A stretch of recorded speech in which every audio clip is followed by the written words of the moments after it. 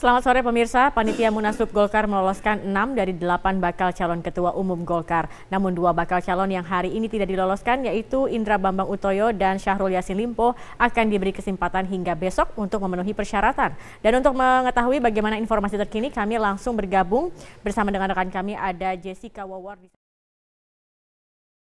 Pemerintah Republik Indonesia terus mengupayakan pembebasan empat orang warga negara Indonesia yang masih disandra oleh kelompok Abu Sayyaf di Filipina. Wakil Presiden Yusuf Kala memastikan keselamatan seluruh sandra adalah prioritas negara.